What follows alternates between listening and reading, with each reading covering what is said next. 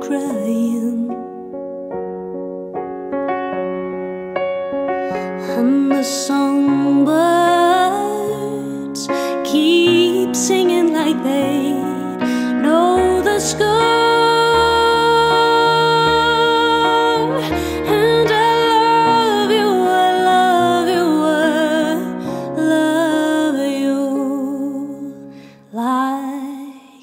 Never been